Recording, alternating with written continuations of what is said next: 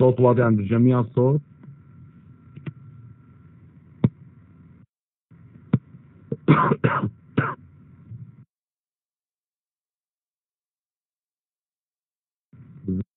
تذكروا وين وصلنا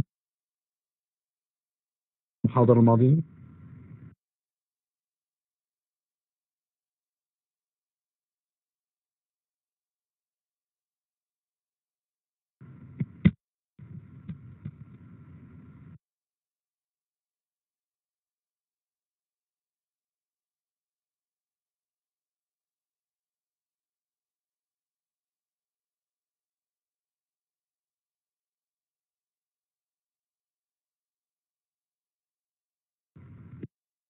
ما حدا بيتذكر ابدا؟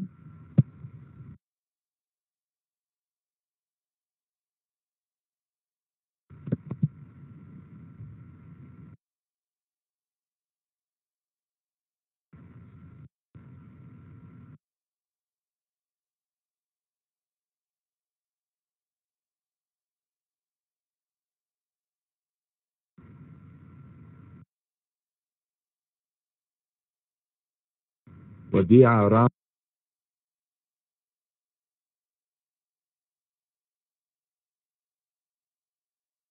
بيان حدا بيتذكر وين وصلنا بالمحاضرة الماضية؟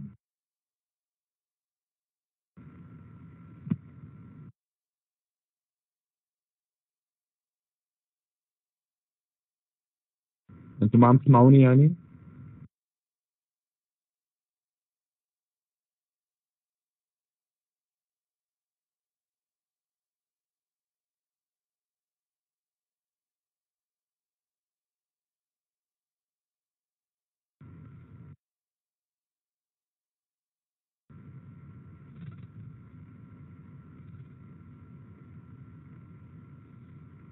طيب.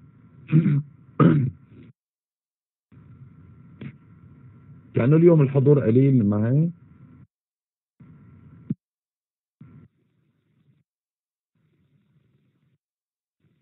فقط أربعة طلاب في مشكلة يعني بالدخول على المحاضرة؟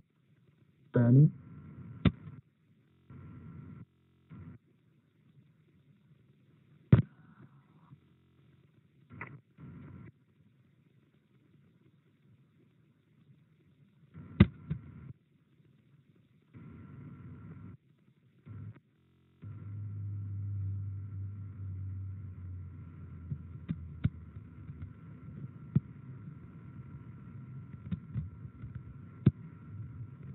طيب عم تسمعوني كلكم الصوت واضح لكم جميعا.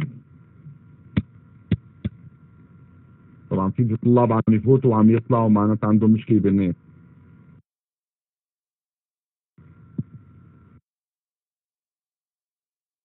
خلصنا مخاطر تغيرات. سعر الفائدة وصلنا لعند مخاطر تغيرات أسعار الصرف ما هيك يا راما؟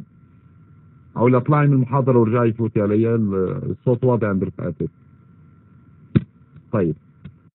معناتها نحن بال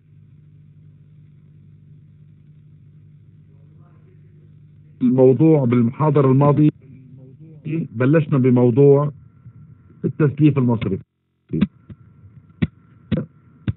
اليوم بدنا نخلصه. بالمحاضرة الماضية حكينا عن مفهوم التسليف المصرفي حكينا عن تصنيف التسليف المصرفي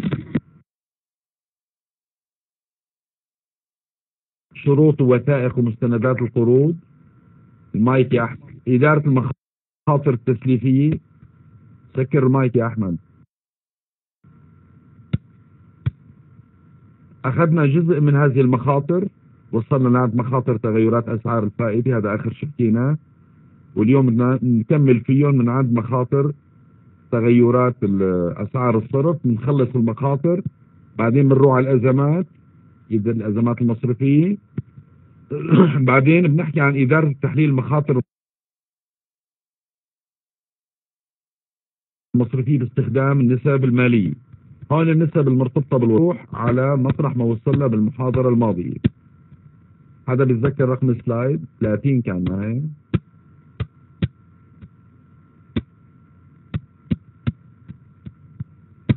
30 هون.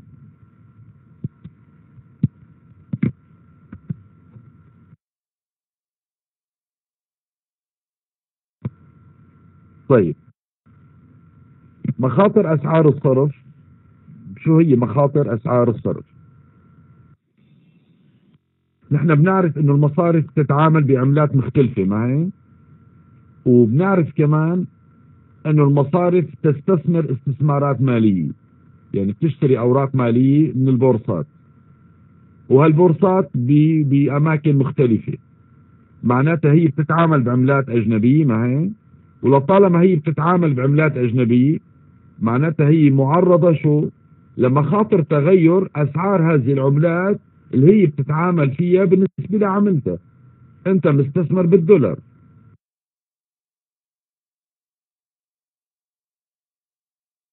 راح انخفض سعر الدولار. معي؟ سعر الدولار ما بده يرتفع وينخفض يتغير مو بشكل يومي. بشكل لحظي كل لحظة بيتغير صعودا وهبوطا. معي؟ حسب الطلب والعرض. حسب المضاربات اللي عم تصير على عملة أنت مستثمر فيها. الظروف الأمنية ما بتأثر كمان بأسعار الصرف. الظروف الأمنية الاقتصادية السياسية. معي؟ مثل ما صار عندنا نحن بسعر صرف الليرة السورية مقابل الدولار معي؟ لما ضلينا لسنين طويلة كان الدولار بيساوي 45 ليرة. إجت الحرب اليوم وصل تقريبا يمكن على 700 معي؟ اذا انخفضت قيمة الليرة السورية بالنسبة للدولار. طيب اللي كان مستثمر بالليرة السورية؟ نفرض أجنبي مستثمر بالليرة السورية. ما بده يخسر؟ معي؟ بده يخسر لأنه هو كان يشتري كل دولار ب 45 ليرة. صار ليشتري الدولار بده 700 ليرة. 695 بالتالي معرضة هي نتيجة ذلك للربح والطيب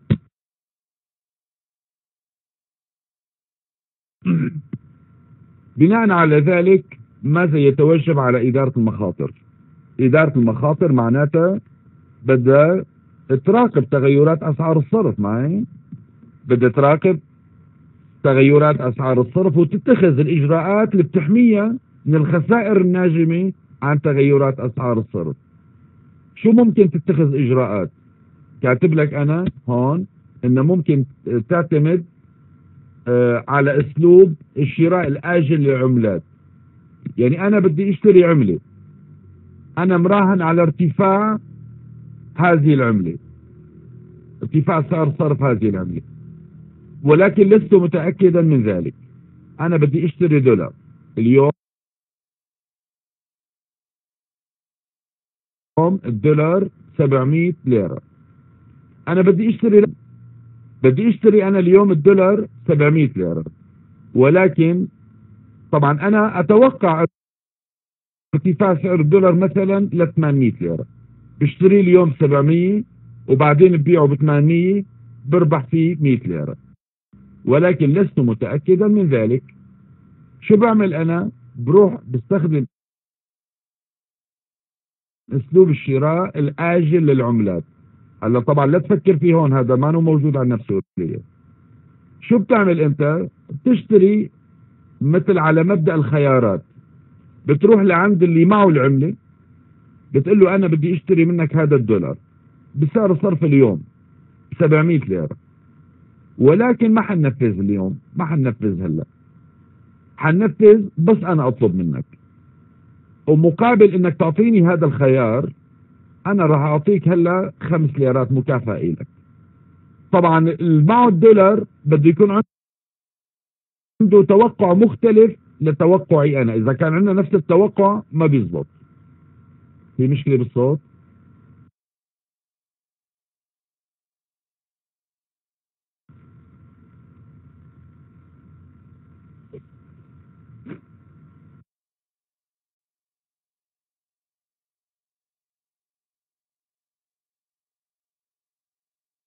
طيب. اذا أنا بدي أشتري الدولار منك أنت أنت معك دولار. أنت بتتوقع انخفاض قيمة الدولار وأنا بتوقع ارتفاع قيمة الدولار. إجينا اتفقنا إنه أنا أشتري منك الدولار ب 700 ليرة. بس ما حننفذ هلا. أعطيتني الخيار إنه أنا انفذ ايمتى ما بدي. مقابل ذلك أعطيتك خمس ليرات مكافأة. بعدين اللي صار إنه ضبط توقعي أنا. ارتفع سعر الدولار من 700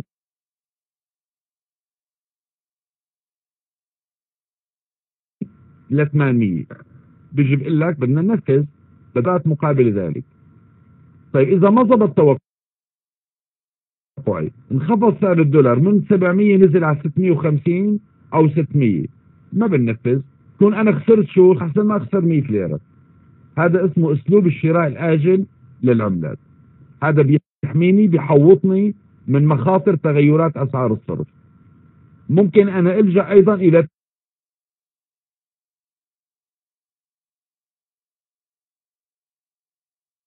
تنويع المحافظ الاستثمارية بعملات مختلفة.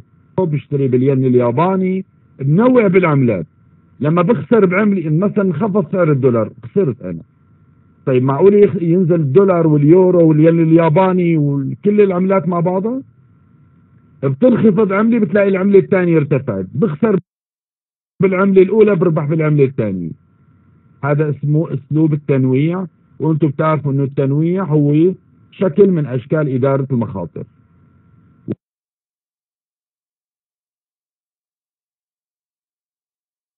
واضحة الفكرة؟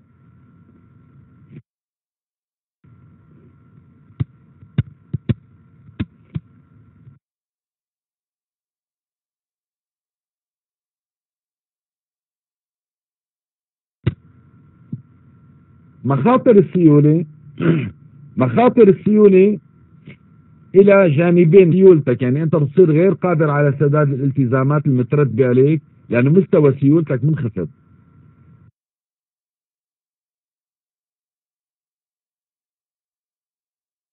والجانب الثاني هو عدم قدرتك على جذب الودائع. شوف نتيجة انخفاض مستوى الدخول نتيجة الركود المجتمع اللي أنت موجود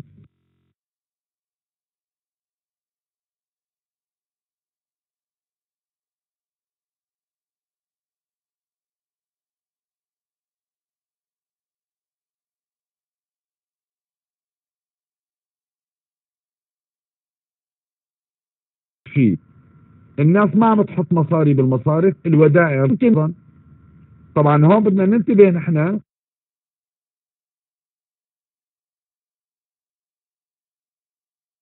إنه أحيانا بتكون الشروط مكلفة.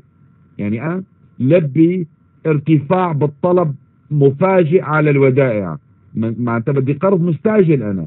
القروض المستعجلة بتكون عادة بسعر أو بسعر فائدة مرتفع وبالتالي تكلفة التمويل هون أو تكلفة هذه القروض بتكون مرتفعة وهذا بيأثر سلبا على ربحية المصرف.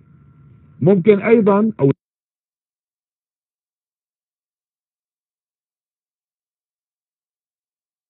الأسلوب الأفضل لحتى تحل مشكلة السيولة عندك يعني إنك المصادرك أو أموالك قصيرة الأجل بتستخدم الاستخدامات قصيرة الأجل. تذكروا القاعدة الطويل للطويل والقصير للقصير. هذا اسمه شو؟ الملائمة ملائمة الموجودات للمطلوب.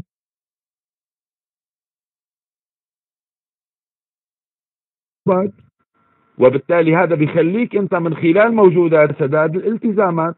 هذا هو الحل الأفضل لحل مشكلة السيولة. أصلا أنت لما بتطبق لهالقاعدة اللي سميناها القاعدة الذهبية هذا مثل أمر وقائي يعني بيحول دون وقوعك بمخاطر السيولة.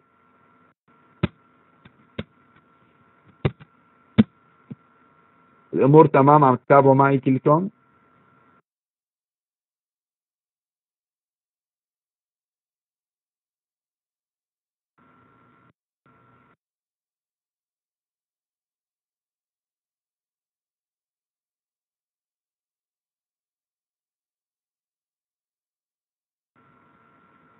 المخاطر الناجمة على العمليات أو مخاطر العمليات أو بسموها أحيانا المخاطر التشغيلية. Operational risk.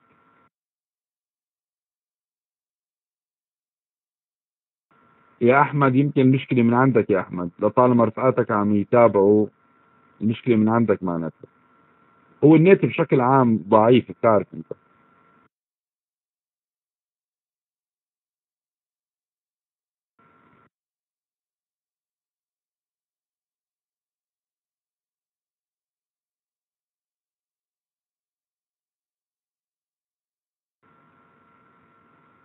المشكلة إنه ما بقدر أعمل لك شيء. غير إنه أعطيك خط للنت من عندي.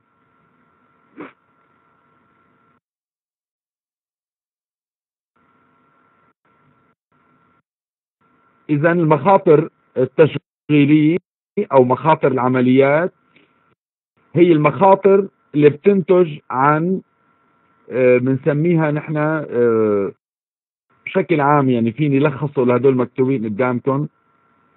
ضعف بكفاءة العمل. ضعف بخبرة العمل. هالضعف بالكفاءة بالخبرة بينتج عنه أخطاء. أخطاء هالأخطاء بتؤدي إلى خسائر. مثل لما الموظف الصراف خلينا نسميه ضمن المصرف أخطأ. معك بالحسابات. معناتها خسائر بالنسبة للمصرف. برنامج حاسوبي نحن معتمدين عليه عم يطلع لنا أخطاء. مثل لحدا مرة عم يسحب من الصراف حط بطاقته بده يسحب مثلا 10000 ليرة. حط البطاقة حط الكود تبعه وأعطاه 50000 خطأ كان.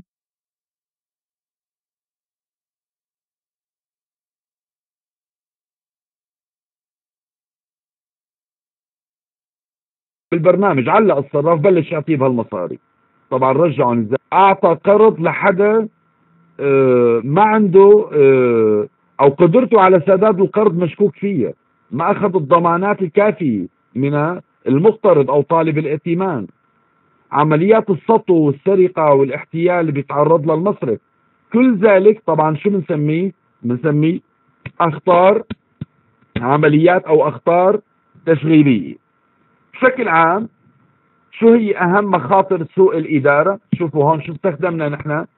مخاطر سوء الإدارة. ما من شوي كنت عم قلت لكم إنه مخاطر العمليات أو المخاطر التشغيليه بتنتج بشكل أساسي عن ضعف الخبرة والكفاءة معناتها سوء إدارة.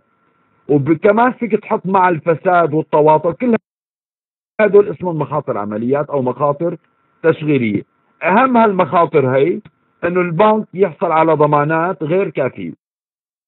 أنت آخذ قرض من البنك والبنك ما آخذ الضمانات الضمانات اللي بتغطي هذا القرض مع هامش أمان. مثل لما بصير مثلا عم تعطي قرض بين الشخص الفلاني قرض ما في ضمانات. التساهل في منح الائتمان نتيجة المنافسة. مشان نكسبك كعب خاطر عنا كبنك. ما عملنا استعلامات كافية عن العميل. العميل بده ياخذ قرض لحتى يمول مشروع. ما عملنا استعلامات ما جمعنا بيانات كافية عن العميل ومشروع والمشروع اللي بده يموله شو بده ينتج ومن من وين بده يجيب الآلات والسلعة اللي بده ينتجها بموجب هالمشروع كيف بده يبيعها وشو سوق هاي السلعة. كل ذلك المصرف لازم يجمع بيانات عنه. منح الائتمان على أساس خطابات ضمان مجاملة. يعني تأخذ أنت ضمانات ما حقيقية. مثل مثل جايب لي أنت صك ملكية وأنا بعرف إنه آه، مزور فرضا. معي؟ بس أعطيتك إياه لأكسبك كعميل مش هتحصل السوقية. بكسبك كعميل ولكن المخاطر زادت. ضعف تحليل الائتمان من قبل البنك وخاصة أو هو بشكل أساسي آه عندي أحد طلاب عم يعمل رسالة ماجستير حول تحليل العملاء. فبيقول لي بالنتائج اللي توصل لها إنه هن لما بدك تاخذ أنت قرض بقيمة مثلا مئة ألف ليرة وقرض ب 20 مليون. نفس الدراسة. طيب معقولة نفس الدراسة؟ معقولة أنا ما بعمل تحليل إضافي تحليل أداق بدرس بنود إضافية. كل ما كانت قيمة القرض مرتفعة كل ما كانت قيمة القرض مرتفعة المخاطر بدها تزيد. وبالتالي أنا بطلب معلومات بيانات إضافية. أنا لازم أتأكد منك أكثر. دراسة جدوى دقيقة. البنك نفسه بيعمل دراسة جدوى. والأمر بده يزيد. دراسة بدها تكون أكثر دقة آه، بدنا ناخذ إجراءات.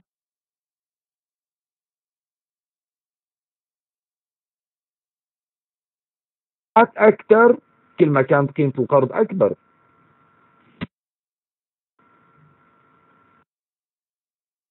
حاسكم اليوم هيك ما يعني في خمول شوي ما هي؟ المحاضرة الماضية كنتوا يعني هيك كنتوا أفضل.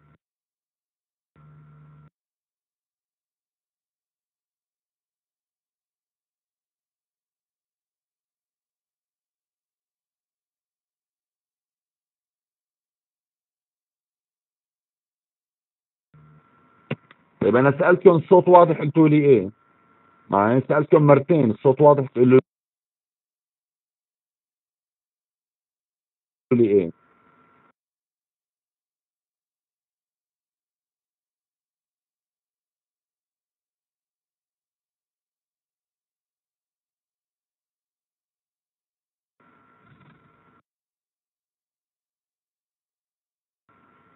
لا جاوبتوني واضح ولا سألتهم الصوت واضح قلتوا لي واضح.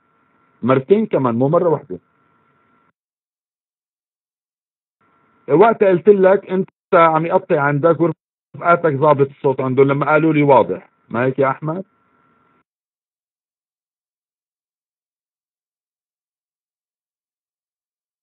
هلا عم تسمعوني هلا؟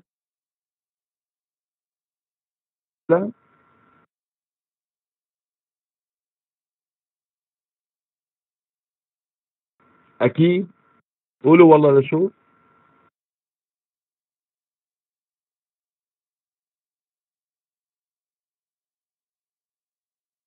طيب. هون حاط لكم ملاحظة إنه نحن بنعرف إنه الأساليب الرقابية بالبنك بتكون يا أحمد أنت عم تضل لحالك عم يقطع الصوت حلفوا يمين إنه الصوت عندهم ضابط. ما شفتهم كيف عم يحلفوا؟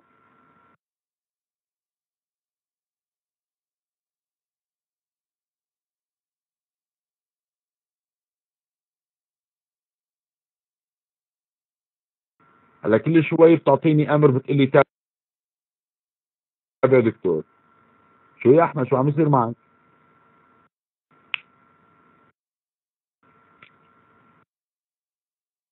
يعني علا قصدك بنحكي جمل قصيرة؟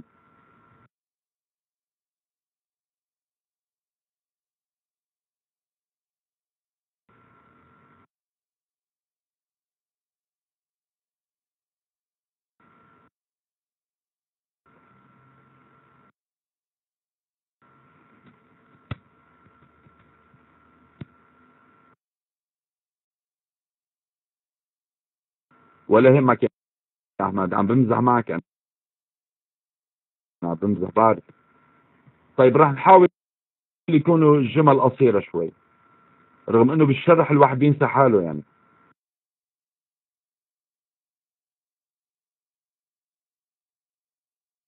مثل بده يتعلم اللغة جديد بيقولوا له احكي جمل قصيرة مشان الأخطاء تكون أقل. طيب بنكمل هلا فينا نتابع الصوت واضح هيك؟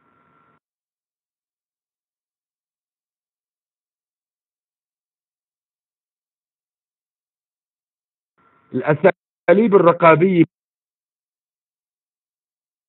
بالبنك نحن بنعرف إنها متطورة متطورة مقارنة بالشركات الصناعية الأخرى مثلا وبيستخدموا برامج حاسوبية كثير متقدمة. يعني البرامج الحاسوبية استخدامها بالبنوك بيكون أكثر أكثر من بقية الشركات إذا عملنا مقارنة. ولكن على الرغم من ذلك عم أقول لك هل يقلل ذلك من أهمية إدارة المخاطر وضرورة كفاءه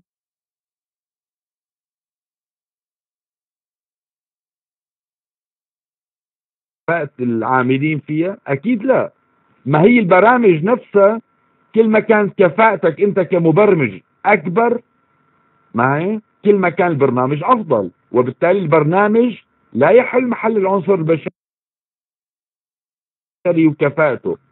طيب ما بدك كفاءة وخبرة لاستخدام البرامج؟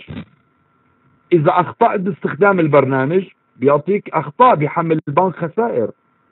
إذا هذا الأمر لا يقلل من كفاءة وأهمية أو أهمية وضرورة كفاءة العاملين.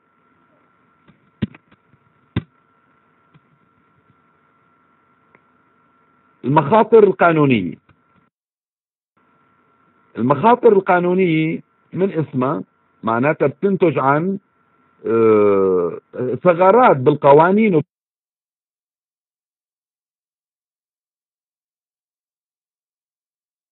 بالأنظمة اللي أنت متبعها معي المستندات والوثائق المطلوبة بالكامل. يعني أنت مثلا بدك ترهن بيتك للمصرف لتاخذ قرض. ما عم تقدم لنا البيانات الكافية لرهن هذا العقار. طيب أنت ما سددت القرض. بدنا نيجي نحن نبيع الضمان الرهن. بيطلع الوثائق ما كاملة. بيطلع لنا مشكلة قانونية ببيع الضمان. أو بيطلع هذا الضمان أو البيت ما إلك ما عقار. معناتها في مشكلة قانونية هون ما هي؟ أو لما بيكون مثلا القرض أو وكالة مثلا مزورة نحن ما تحققنا منها مثلا أو لما بيكون مثلا عندك القرض هو عقد بين طرفين المقترض والمقرض. طيب إذا العقد ما واضح في في بعض الفقرات قابلة للتأويل. بتروح أنت بتحط محامي وممكن تربح الدعوة بتقيم دعوة على البنك. تربح انت الدعوة بتخسره للبنك. أو لما مثلا البنك مستشارين القانونيين عنده مان كفء وعندك عميل آه، مطلع على القوانين والأنظمة.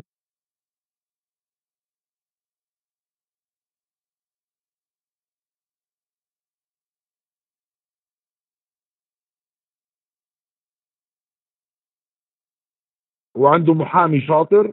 معناتها أي خلاف يرفع دعوة عليك وعنده مغنيب عدم دقة صياغة النصوص القانونية اللي بتربطك مع العملاء سواء كانوا مودعين ولا كانوا مقترضين.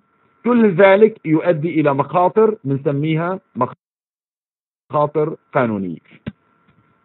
قلة الخبرة علا القانونية فيك هون. هون بنحدد خبرة قانونية. ما هيك علا؟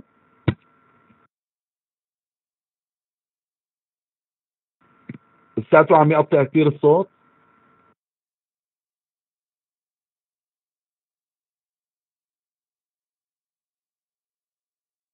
والله مشكلة الصوت بالجامعة الافتراضية يعني مشكلة كبيرة يعني.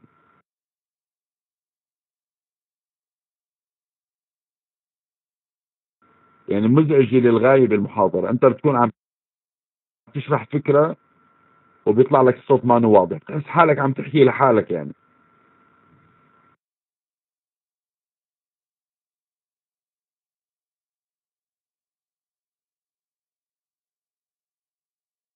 هو المشكلة حكينا يمكن قلت لكم أنا بالمحاضرة الماضية أو لشعبة أخرى أو لمادة أخرى نسيت أنه أكبر ضغط محاضرات عم يكون بين الستة للعشرة.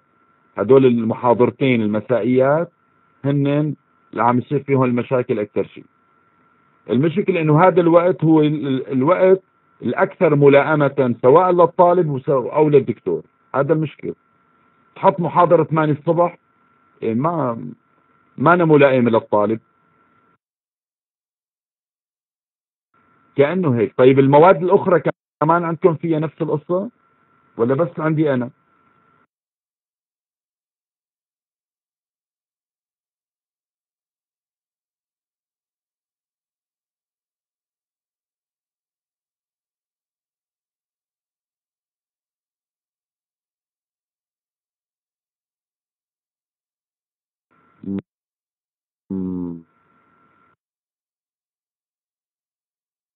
تماما رامز زاد الضغط تماما.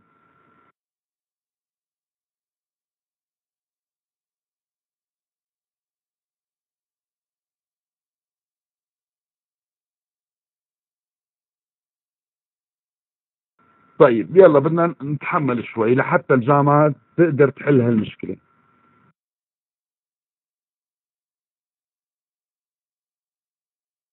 طيب المخ... المخاطر الاستراتيجية بدي احاول احكي على مهلي. المخاطر الاستراتيجية بتنجم عن التخطيط الاستراتيجي. شو يعني تخطيط استراتيجي؟ بده يكون عندك أنت شو؟ أهداف قصيرة الأجل وأهداف طويلة الأجل وتوازن بيناتهم. طبعا بموجب سياسة البنك بالتأكيد أو لا؟ وبالتالي أنت ما, ما تغلب الأهداف قصيرة الأجل على حساب الأهداف طويلة الأجل. بدك تعمل توازن بيناتهم. يعني ما تركض تعطي قروض قصيرة الأجل ما هي؟ وتهتم بالسيولة فرضا أكثر على حساب قروض طويلة الأجل أو العكس بدك تعمل موازنة بيناتهم هذا بيكون بموجب الخطة الاستراتيجية حاطة المصرف بموجب سياسته الائتمانية. طبعا مع الأخذ بال بال بالاعتبار الظروف المنافسة بالتأكيد لأنه أنت عم تعطي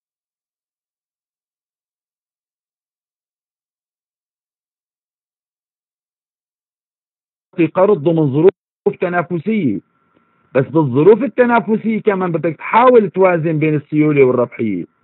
يعني أنت مقابل إنك تكسب عميل ما تنسى أنت موضوع الموازنة بين السيولة والربحية. اكسب عميل وبعدين أنا يصير عندي مشكلة سيولة فيما بعد. يعني بتكون أنت هون بيعرضك لخسارة. وبتعرفوا انتو إنه مشكلة السيولة هي المشكلة الاخطر بالنسبة للبنك. هذا اللي بيخوفه للبنك أكثر شيء. يجي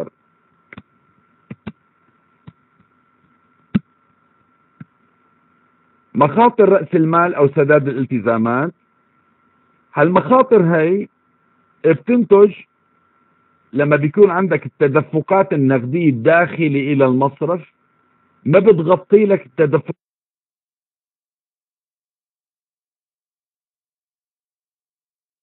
التدفقات النقدية الخارجة من عندك.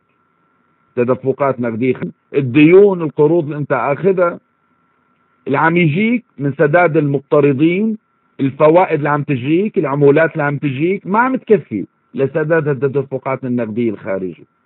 طيب بتقلي بتقلي معناتها هي مخاطر سيولة. ما هيك لازم تقلي هلا من شوي كنا عم نحكي عن مخاطر السيولة إنه أنت عم تكون غير قادر على سداد التزاماتك. بمخاطر رأس المال بمخاطر رأس المال مش ما ما ما توقعوا بخلط ما بين مخاطر السيولة ومخاطر رأس المال. مخاطر رأس المال هي امتداد للمخاطر السيولة. بمخاطر رأس المال مخاطر رأس المال بصير عندك قيمة حقوق الملكية سالبة. بتقلي حقوق الملكية معقولة تكون سالبة؟ لما بتكون قيمة الخصوم أكبر من قيمة الأصول معناتها حقوق الملكية سالبة عندك. معناتها أنت استهلكت حقوق الملكية كلهم. بسداد التزامات مترتبة عليك وصارت الخصوم أكبر من الأصول. وقتها بنسميها مخاطر رأس مال. طبعا هذا مخاطر خطرة جدا. لما بتصير عندك قيمة حقوق المساهمين سالبة معناتها أنت على الإفلاس بدك تروح.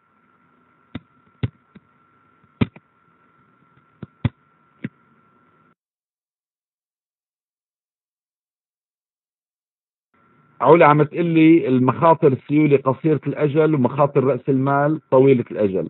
فيك تقولي هيك علا فيك تقولي هيك. الأزمات المصرفية.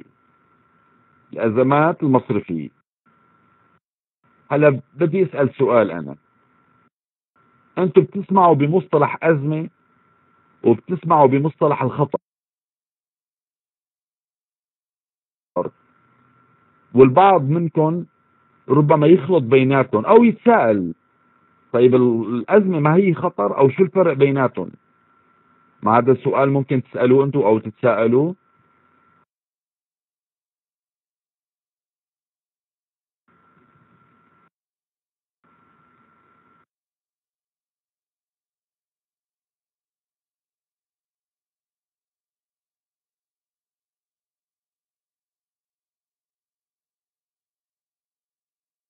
عدنان عم يقول لي الأزمة عامة الخطر ممكن يكون ببنك محدد. كلام صحيح. بيان عم تقول لي الأزمة تقع وبيصير أما الخطر شيء آه بقدر كمان صحيح هذا الكلام. يعني آه إلى حد ما صحيح. أحمد الخطر نتوقع أما الأزمة مفاجئة.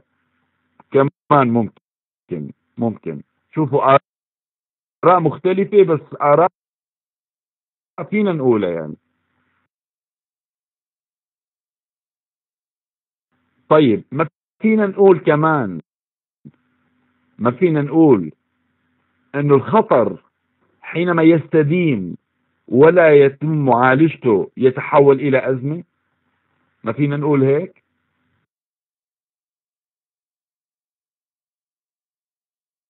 فينا نقول ما هي؟ طيب معناتها إذا فينا نقول هيك ما فينا نقول كمان إنه الأزمة هي خطر متقدم؟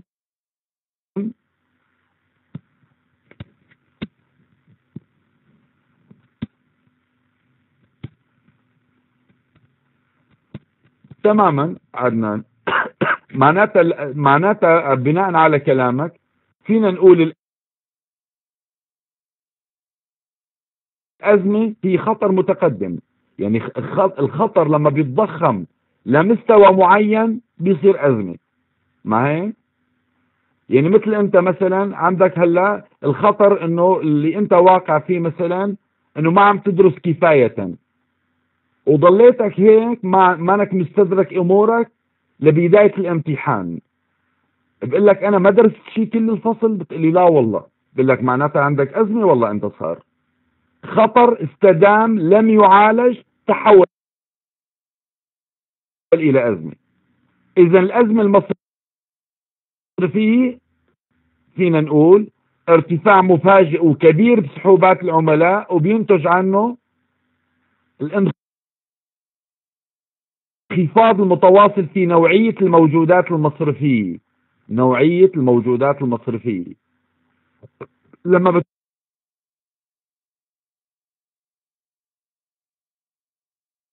بتقول عن انخفاض متواصل. انتبهوا على كلمة مصطلح اللي استخدمه أحمد تراكمي. ما هي؟ انخفاض متواصل بنوعية الموجودات المصرفية. لما أنت عم تستثمر باستثمارات مثلا آه، رديئة مثلا قروض متعثرة. قروض متعثرة إذا زادت عن مستوى معين ما بيصير عندي أزمة مصرفية؟ مثل اللي صار عندنا بالمصارف لما المقترضين بطلوا يسددوا تحولت قروضهم لقروض متعثرة؟ إذا هدول عملوا أزمة مصرفية. لما أنا آه، زاد كمان فينا نقول بشكل آخر لما عدد المقترضين المتعثرين بيزيدوا عن مستوى معين معناتها أنا صار عندي أزمة. تجاوزت الخطر تجاوزت الخطر. إذا من عندي هون نقطتين برجع بلخص. الشيء مفاجئ وكبير. يعني تعرضت لسحوبات كبيرة ومفاجئة. يعني ما بقى خطر صرت أنا أزمة معناتها.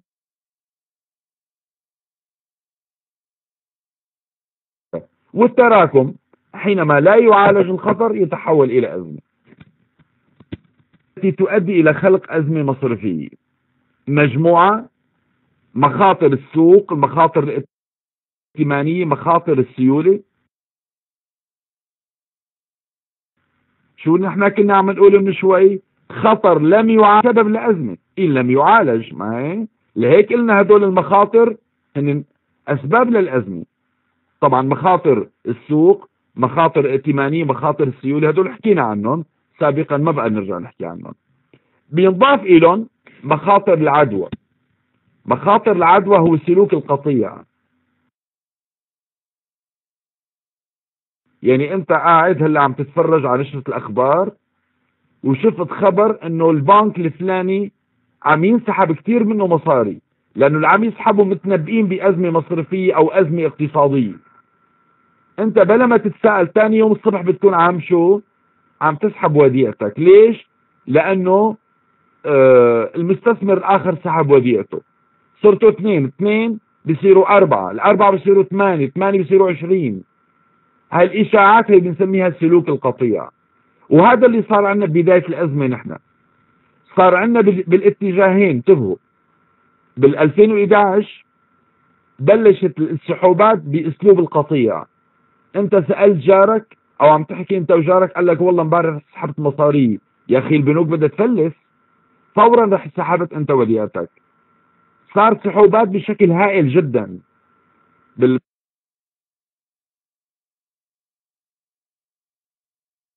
بال... بال... بالأشهر الأولى من الحرب من الأزمة. بعد كمان بأسلوب القطيع سألته لجارك نفسه قال لك لا والله رجعت الوديعة يا أخي طلع البنك أمن شيء. كمان رحت رجعت الوديعة أنت. اذا سلوك القطيع ليس فقط بالسحوبات وبالإيداعات كمان. سحوبات بصير أمر سلبي وإيداعات بصير أمر إيجابي. موضوع السحب مثلا لشراء القطع الأجنبي كمان عم بصير بسلوك القطيع حدا ما بيعرف ابدا بالدولار ولا بأسعار الصرف ولا بشيء بصير بيقول لك إيه كل العالم عم تشتري دولار بيروح بيشتري دولار هو. ما نعرف عن ليش. هذا بنسميه سلوك القطيع أو مخاطر العدوى. الخطر المعنوي يعني أنت بيصير بالمخاطر العدوى مشكلة بنك بتنتقل لبنك آخر نتيجة أسلوب القطيع. لحتى تشمل النظام المصرفي ككل. الخطر المعنوي مثل مثلا أنت ممكن تقترض بظروف معينة. أنت مثلا ظروف السوق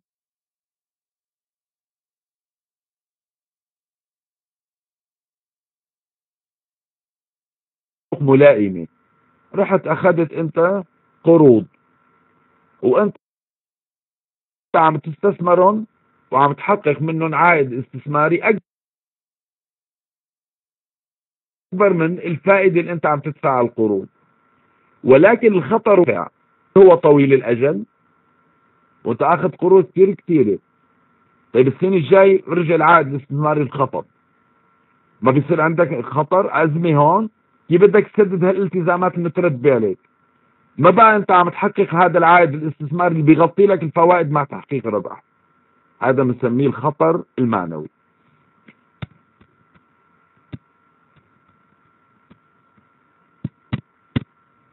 في سؤال لحد الآن؟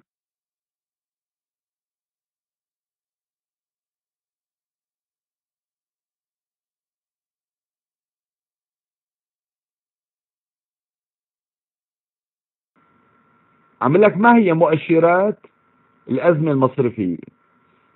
حاط لك مخاطر رأس المال. من شوي لما حكينا عن مخاطر رأس المال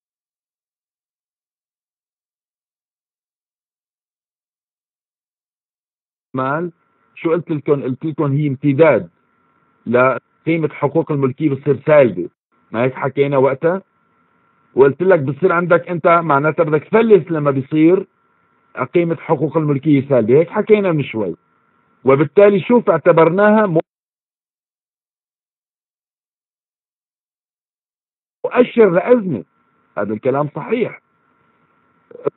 يختلف من مصرف إلى آخر. باختلاف أصولك. أصول المصرف بتختلف عن أصول مصرف آخر. مثلا أنت عاطي قروض غير مضمونة يعني بدون ضمانات. أكثر من المصرف الآخر. طيب المصرف القروض بدون ضمانات ما بتكون مخاطرة أكثر؟ ما هي؟ ما بده تكون مخاطرة أكثر؟ طيب أنت تعطي قروض غير مضمونة أكثر.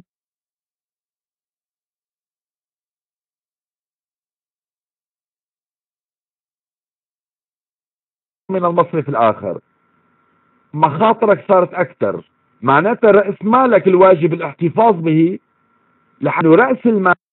انتبهوا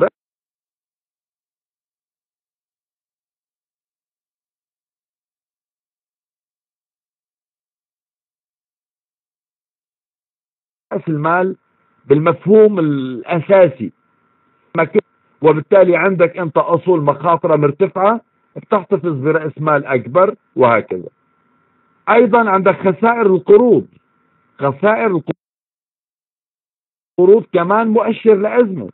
القرض الأول خسر الثاني خسر الثالث خسر معناته هذا مؤشر لأزمة مصرفية. شوف شو عم أقول لك عم أقول لك حتى لما بتستمر المصارف في تحقيق الأرباح. ان إحنا عم نربح عم, عم مستمرين في تحقيق الأرباح. إلا أنه لما بيكون عندنا نحن الديون المشكوك فيه كمان عم تزيد بشكل سريع. هذا مؤشر لأزمة. مؤشر لأزمة آه، مقبلة.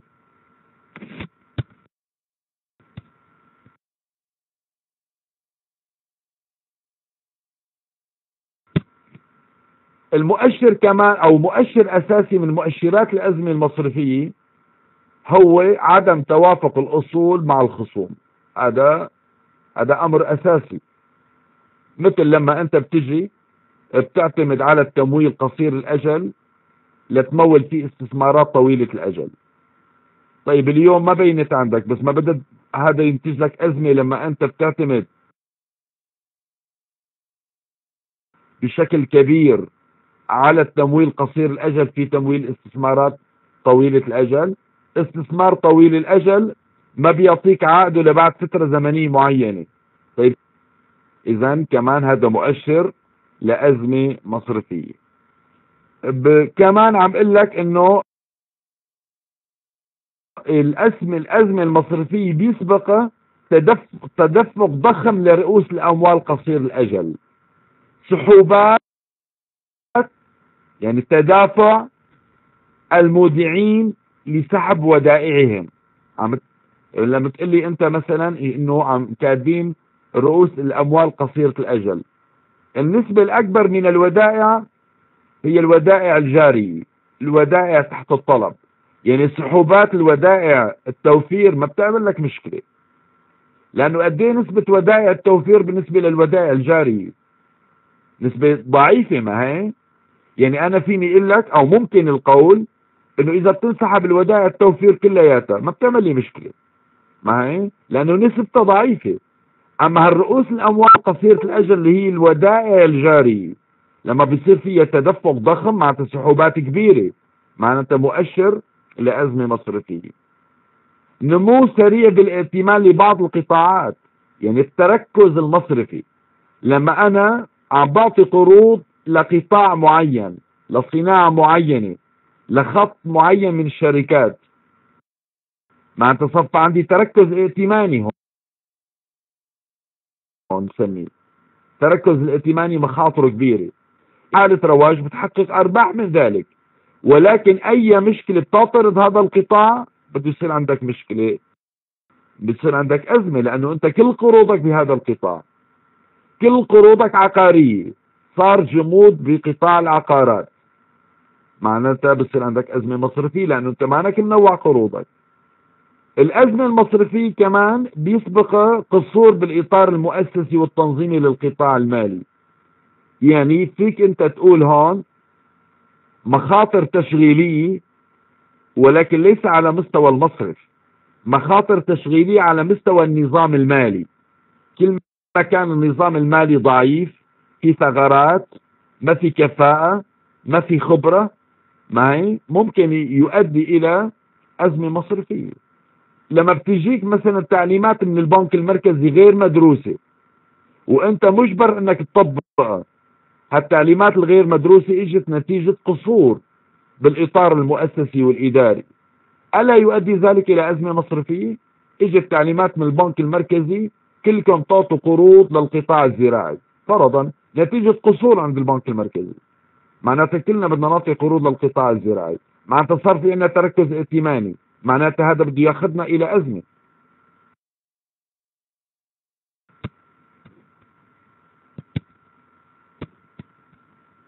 واضحة الأمور لحد الآن؟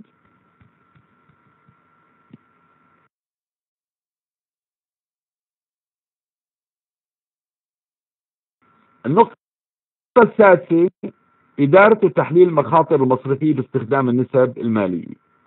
أهم هالنسب نسب السيولة والائتمان ورأس المال وجنبهم السهم الميمون. وهدول مطلوبين بالوظيفة طبعا مو كلهم بس أغلبهم. رح نشوفوا لهدول النسب. أنتوا طلعتوا على النسب المطلوبة بالوظيفة؟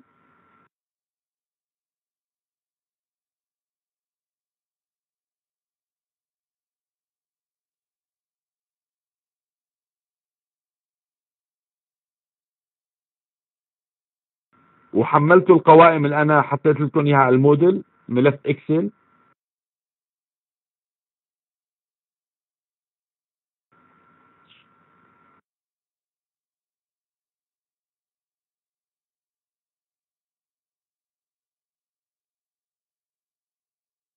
جربتوا تحلوا الجانب العملي بالوظيفة النسب المالية مطلوبة؟ حدا جرب؟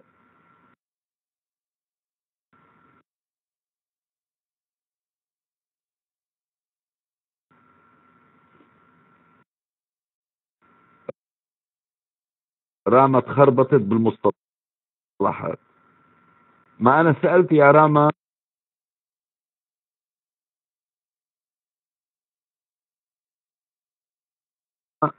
سؤالي لحتى تجاوبوني هيك. بعرف بدكم تخربطوا بس راما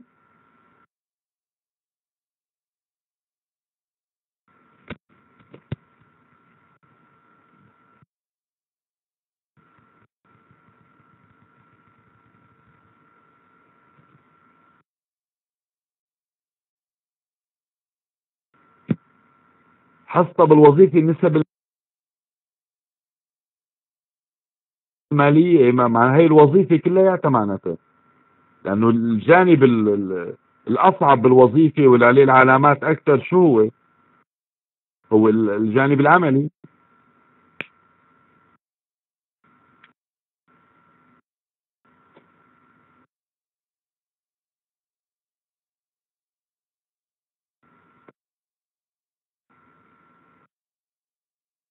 طيب أنا بعرف راح تخربطوا بالمصطلحات وإذا ما أعطيت الملاحظات بهذا الخصوص بتخيل بده يكون الوضع صعب. لذلك في ملاحظات لازم نحكيها بالنسبة للنسب المالية. أنا بيهمني الكل يكون مطلع على النسب مشان يفهم الملاحظات أكثر رح نمشي هلأ بالنسب وكل نسبة مطلوبة بالوظيفة رح نحكي آه، آه، الملاحظة اللي بتخليك تحل مشكلة هي المصطلحات. يعني تعرف شو بدك تاخذ من القوائم المالية. التسمية الملائمة يعني. نسبة الرصيد النقدي. نسبة الرصيد النقدي نسبة سيولة. بناخذ النقدية الموجودة بخزينة المصرف وبنقسمها على الودائع. أو تأخذ رصيد المصرف لدى البنك المركزي زائد النقدية عند المصرف وبتقسموا على الودائع زائد الالتزامات الأخرى. الناتج هي نسبة بتقص لنا السيولة. كل ما انخفضت هالنسبة كل ما كانت السيولة وضعها سيء. والعلاقة بين السيولة والربحية علاقة عكسية. معناتها إذا زادت مخاطر السيولة بدها بدها تنخفض مخاطر الربحية والعكس بالعكس. إذا هي النسبة تقيس مخاطر السيولة. ولكن فينا نستدل منها على الربحية.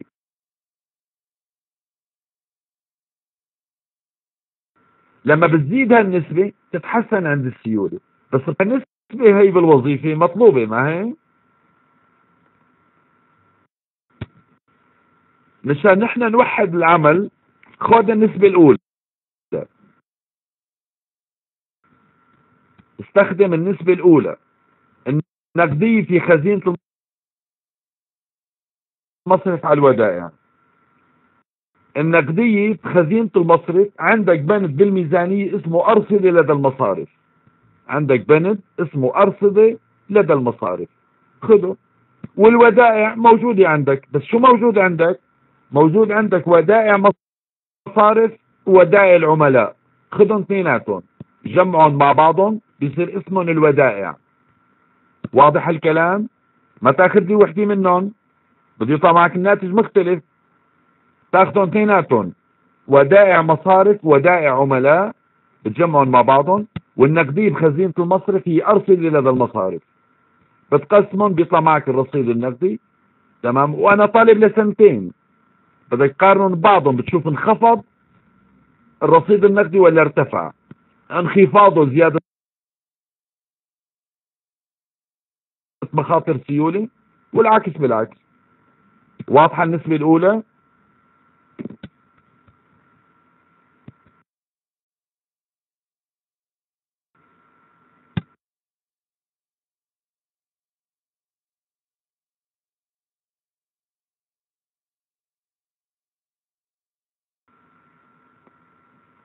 نسبة الاحتياطي القانوني.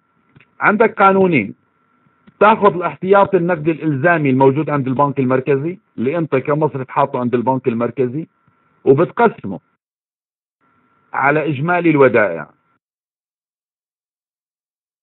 زائد شيكات وحوالات مستحقة الدفع زائد أرصدة البنوك. أو بتاخذ الثاني. أرصدة لدى البنك المركزي على إجمالي الودائع. خذ الثاني أنت. الثاني. أرصدة لدى البنك المركزي آه، موجودة عندك آه، آه، باسم نقد وأرصدة لدى مصرف سوريا المركزي. هيك موجود اسمه. وإجمالي الودائع صرنا بنعرف شو هو إجمالي الودائع. ما هي؟ يعني إجمالي الودائع وين وين ما مر معك؟ ببقية النسب؟ صرنا نعرف شو بدنا نعمل. ناخذ ودائع مصارف زائد ودائع عملاء بنجمعهم مع بعضهم. والأرصدة عند البنك المركزي يمكن هو أول بند بالميزانية. كمان التفسير نفسه هي نسبة سيولة. نسبة سيولة كل ما انخفضت الودائع بالمطالب طبعا لورين.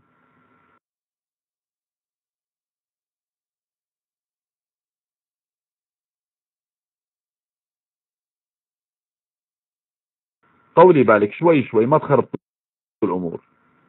الودائع هاي اللي عم نحكي عنها هي ودائع المودعين يعني ودائع المودعين بالجانب الدائم بالتأكيد.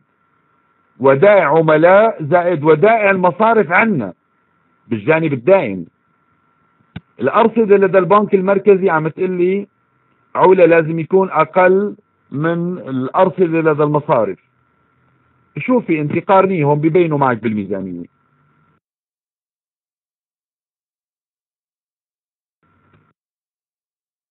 النسبة كل ما انخفضت معناتها مخاطر سيولة أكبر وبتكون لما تنخفض النسبة بتزيد مخاطر السيولة بتنخفض مخاطر الربحية.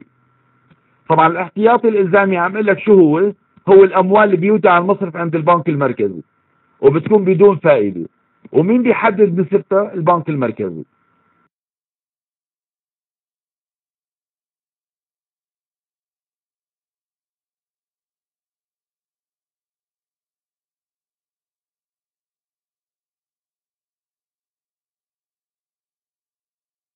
بالبنك الإسلامي بيختلف الأمر لورين. بالبنك الإسلامي بيختلف التسميات كمان بتختلف. كثيرة ما أنا موجودة بميزانية البنك العادي. لأنه نشاطه مختلف.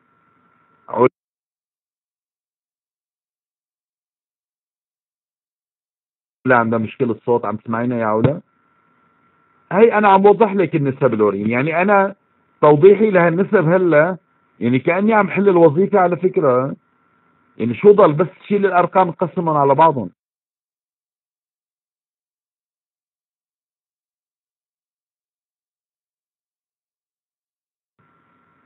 okay فهمت عليكي okay. لازم تتوضح النسب. يعني هذا هون صراحة فيها ظلم للطالب يعني. يعني أنا إذا بدي أعطيك الوظيفة وما وضحت لك هالتوضيح هذا أنت حتضيع بالتأكيد.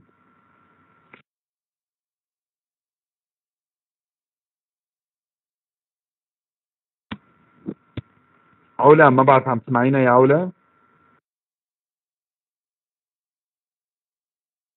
ضروري تكوني عم تسمعينا لأنه هذا الأمر متعلق بالوظيفة. رح نوقف شوي لحتى تفوت علا على المحاضرة مشان تتابع معنا.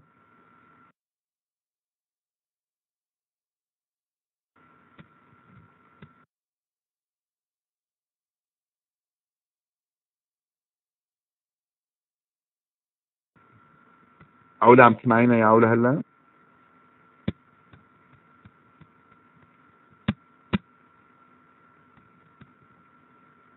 علا عم تسمعينا؟ HD. هدول في محلات فاتحة جديدة بالحمراء اسمها HD قصدك عليها يعني؟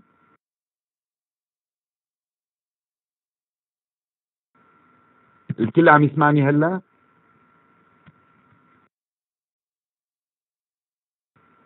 طيب. نسبة السيولة القانونية؟ نسبة السيولة القانونية؟ بناخذ كل هدول اللي شايفينهم قدامكم. والله كتار ما هي.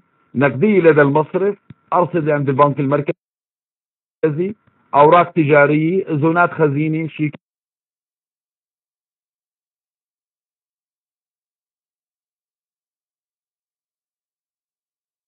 تحت التحصيل ومنقسمة على إجمالي الودائع المستحقة الدفع بتخربط معي.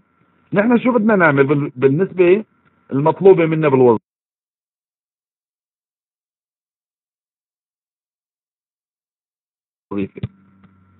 بناخذ النقدية لدى المصرف. النقدية لدى المصرف اسمها أرصدة لدى المصارف حكيناها. والأرصدة لدى البنك المركزي والبقايا بنتركهم نشطبهم بلاهن والمقام بناخذ فقط إجمالي الودائع.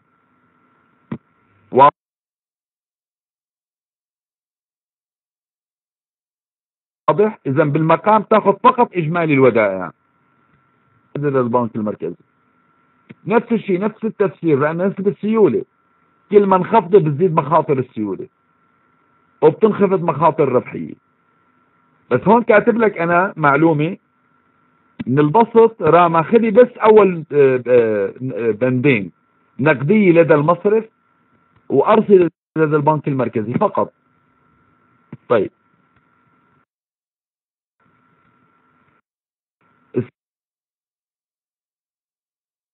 السيولة النقدية هالنسبة هي خاضعة لرقابة البنك المركزي. ممكن تستفيد منها بالتحليل هي المعلومة. أه علا عم تقلي هي حليناها نفسها بإدارة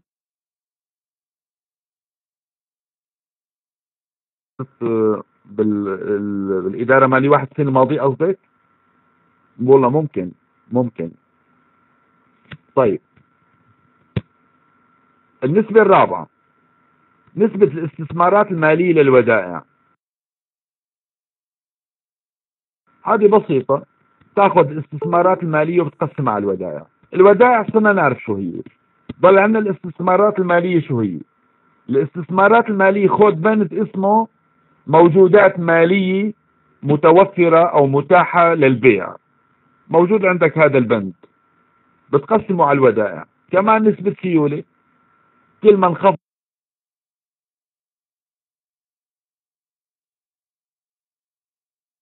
نسبتها النسبة بتزيد مخاطر السيولة والعكس بالعكس.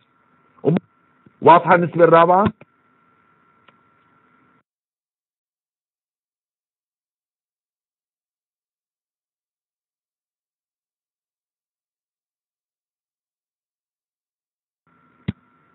النسبة الخامسة مثل الرابعة بس بدل ما نقسم على الودائع بنقسم على إجمالي الأصول. الاستثمارات المالية قلنا شو هي؟ هي موجودات مالية متوفرة للبيع موجودة بالجانب المدين بالميزانية. إجمالي الأصول هو إجمالي الجانب المدين بالميزانية. هذا واضح إجمالي الأصول. مجموع الميزانية. كمان كل ما انخفضت هالنسبة بتزيد مخاطر السيولة. ومخاطر الربحية عكس مخاطر السيولة. صفينا شو؟ عم نعيد نفس الكلام. بس هون شو عم أقول لك؟ عم أقول لك إنه ممكن يكون إلى دور إيجابي على الربحية باعتبار انه الاستثمارات قصيرة الأجل هي وبالتالي ربحيتها بتكون منخفضة بس لطالما هي قصيرة الأجل ما أنت عم تشتري وتبيع معناتها في سرعة بدوران رأس المال المستثمر. ممكن هذا يعمل أثر إيجابي بالربحية. يعني على مبدأ على مبدأ لما أنت بتبيع بسعر أقل بتصير بتبيع أكثر. بصير سرعة دوران رأس مالك أكبر.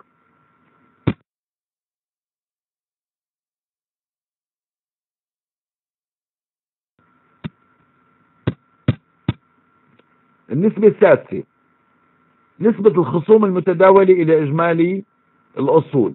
إجمالي الأصول واضح مجموع الميزانية. عندك الخصوم المتداولة.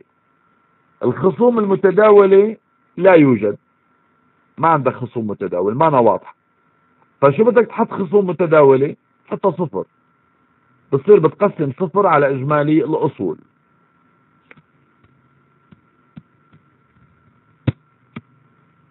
نسبة الأصول المتداولة إلى الخصوم المتداولة. أو عفوا إيه، نسبة الأصول هي ما أنا مطلوبة كأنه ما هي؟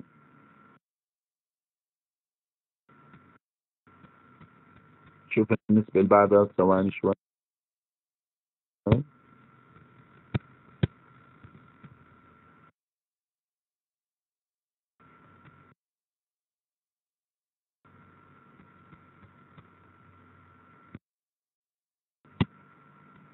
إذا الخصوم المتداولة. ثواني ثواني شوي. الخصوم المتداولة على إجمالي الأصول إن الخصوم المتداولة معنا معنا بعدين ناخذ الأصول المتداولة إلى الخصوم المتداولة.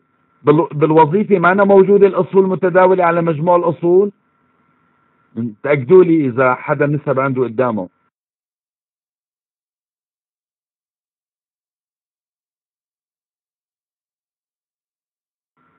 إذا موجودة شو؟ الأصول المتداولة على مجموع الأصول. ما هي؟ طيب على مجموع الخصوم ولا الأصول؟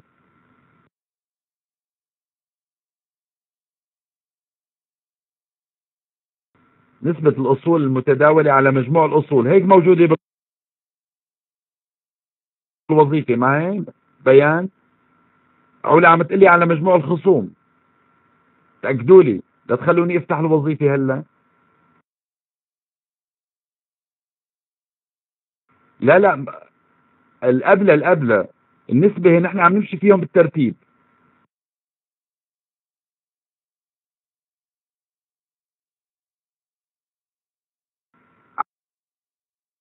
على مجموع الأصول ما هي؟ نسبة الأصول المتداولة على مجموع الأصول موجودة هالنسبة هي؟ مجموع الأصول واضحة. والأصول المتداولة شو هي الأصول المتداولة؟ الأصول المتداولة هي أرصدة لدى المصارف وأرصدة لدى بنك سوريا المركزي وموجودات مالية متوفرة للبيع. ثلاث بنود هي الأصول المتداولة. فإذا كان مطلوبة بالوظيفة على مجموع الأصول مجموع الأصول واضح. إذا كانت مطلوبة على الخصوم المتداولة الخصوم المتداولة صفر. لذلك ما بتوقع أن هي موجودة بالوظيفة. ماني متأكد بس عم بقول لا أتوقع. لأنه بصير عم نقسم على صفر. طبعا نسبة الأصول المتداولة الخصوم المتداولة كمان هي نسبة سيولة. كل ما انخفضت هي النسبة كل ما كانت قدرة الأصول المتداولة على تغطية الخصوم المتداولة أقل مع مخاطر سيولة أكبر. إذا الرامع عم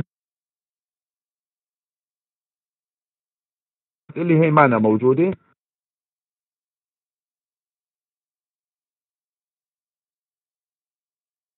موجودة إنه بنقسم على الأصول المتداولة. طبعا كل ما كان طبعا للأصول بشكل عام يعني لمجموع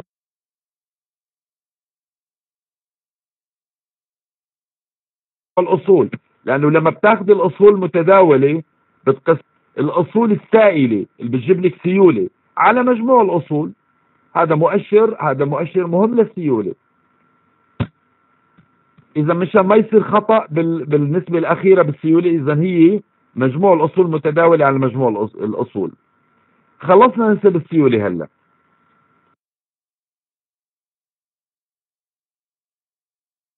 بنيجي على نسب مخاطر الائتمان. في أي سؤال على نسب السيولة قبل ما أحكي على نسب مخاطر الائتمان؟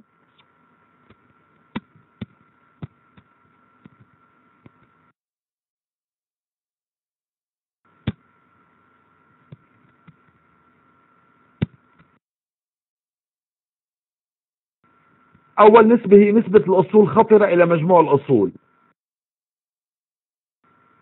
الكل عم يسمعني؟ ما حدا عنده مشكلة صوت؟ طيب. مجموع الأصول واضح. أما الأصول الخطرة شو هي الأصول الخطرة؟ الأصول الخطرة هي كل الأصول هي كل الأصول ما عدا النقدية وشبه النقدية. هي كل الأصول ما عدا النقدية وشبه النقدية أنت كيف بدك تحسبها بالوظيفة؟ بتاخذ مجموع الأصول وبتطرح منه. أرصدة لدى المصارف والأرصدة عند البنك المركزي والموجودات المالية المتوفرة للبيع. تطرح منه معناتها الأصول المتداولة. البنود الثلاثة اللي أنا عديتها من شوي قلت إنه هن الأصول المتداولة. تطرح من مجموع الأصول بيطلع عندك الأصول الخطرة بتقسمهم على مجموع الأصول. طبعا ارتفاع المؤشر دليل على عدم كفاءة البنك في إدارة أصوله. هذا أمر طبيعي. كل ما كانت الأصول خطرة كبيرة بالنسبة لمجموع أصولي كل ما كانت مخاطري أكبر. والعكس بالعكس. كمان كاتب لك إنه هالنسبة يجب ألا تزيد من عن 60 ل 70% من مجموع الأصول.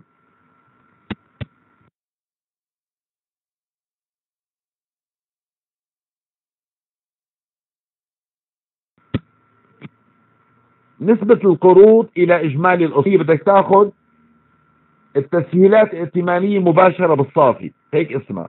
تسهيلات ائتمانية مباشرة بالصافي.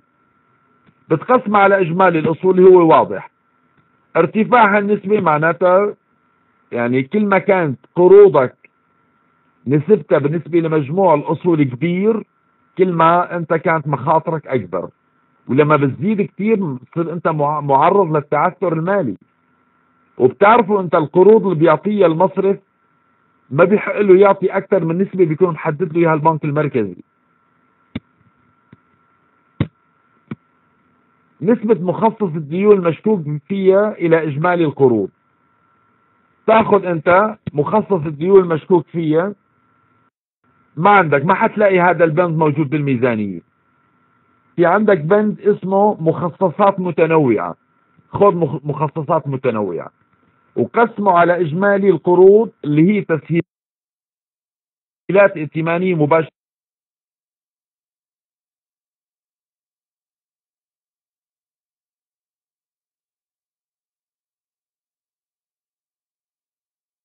بالصافي. كل ما ارتفعت هالنسبة ارتفاع هالنسبة ارتفع المخصص. معناتها عندي ديون مشكوك فيها أكثر. واضحة الأمور لحد الآن؟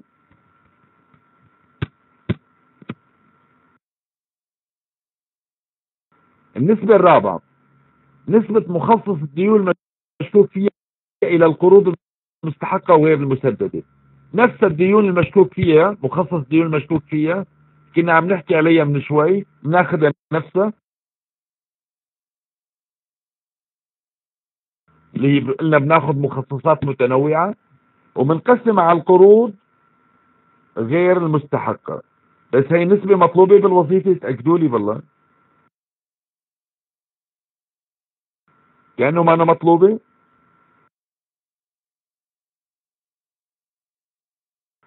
ما أنا مطلوبة معي طيب. إذا يعني ماني طالبة لأنه ما عندنا قروض مستحقة وغير مسددة ما أنا واضحة بالميزانية. بكافة الأحوال.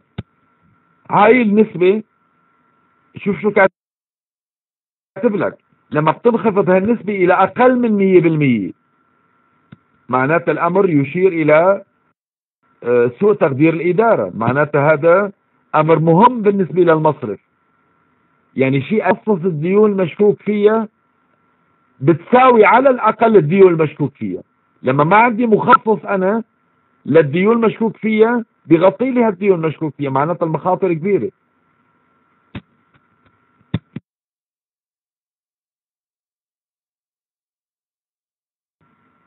النسبة الخامسة نسبة القروض المتعثرة إلى إجمالي القروض. القروض المتعثرة هي القروض اللي اللي العملاء ما بقى يسددوها للمصرف متعثر ما بقى يسدد للمصرف منقسمة إلى إجمالي القروض. معناتها لما بترتفع النسبة معناتها مشكلة مشكلة بالنسبة للمصرف. وإذا استمر وزاد عن مستوى معين يهدد بإفلاسه للمصرف. وبيصير بيأثر على احتمال بقاء المصرف في السوق معناتها شيء مهم بالنسبة للمصرف هي النسبة. بس يمكن هي نسبة كمان ما أنا مطلوبة بالوظيفة ما هي؟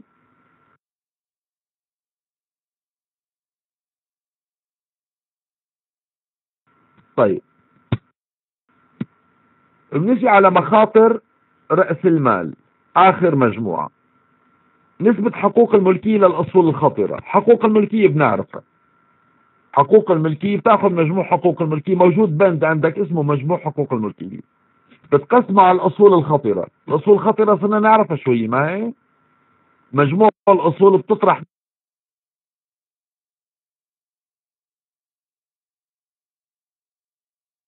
منه الأصول متداولة يعني عدناهم مرتين لهدول تاخذوا نفسهم. طبعا كل ما كانت حقوق الملكية نسبتها إلى الأصول الخطرة أكبر كل ما كان كل ما كنت بعيد عن الخطر أكثر. وكاتب لك أنا هون انتبه انخفاضها النسبي عن 100% دليل على أنه المصرف غير قادر على تغطية أصوله الخطرة من حقوق ملكيته.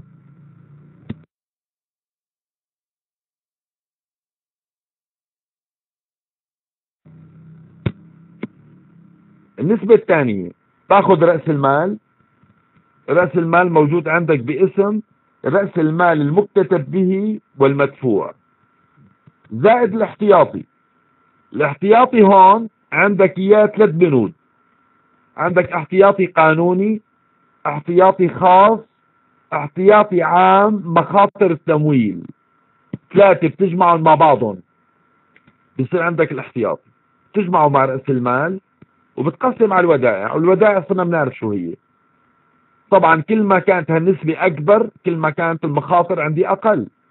كل ما كانت كل ما كانت نسبة رأس مالي واحتياطياتي أكبر بالنسبة للودائع كل ما هذا عطى طمأنينة وأمان أكثر للمودعين.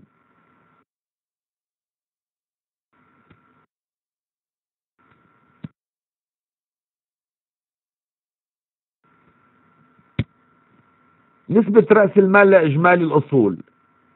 لما صاروا أربعة قانوني قانوني احتياطي قانوني احتياطي خاص احتياطي عام مخاطر التمويل. ثلاثة. ما صاروا أربعة واضح يا علا الاحتياطيات ثلاثة مو أربعة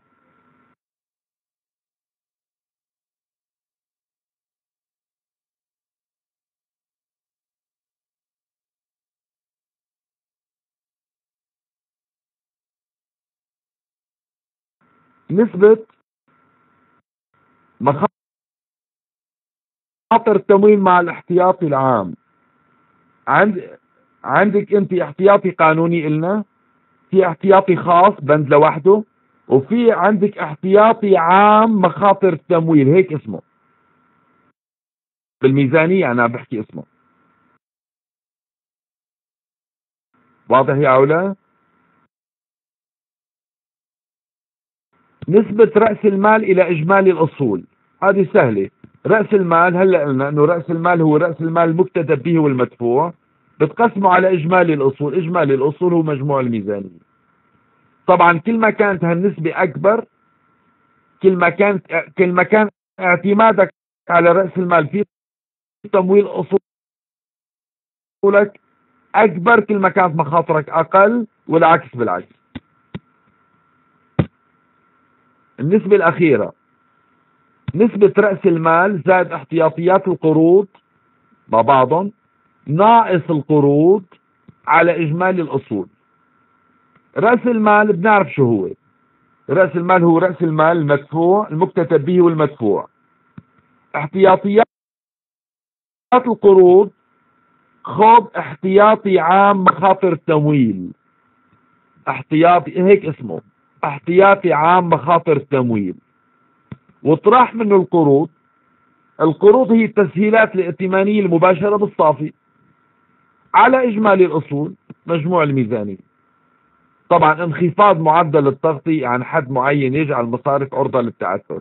يعني كل ما كانت النسبة أكبر كل ما كان أفضل والعكس.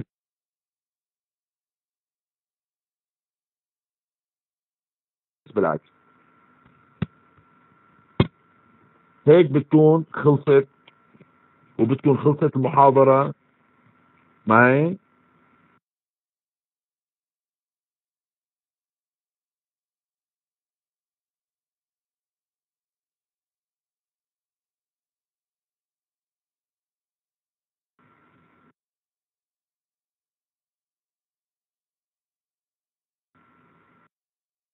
يلا هلا بتناموا مطمئنين مبسوطين الوظيفة هلا شو؟ يعني هلا صارت اموره محلولة.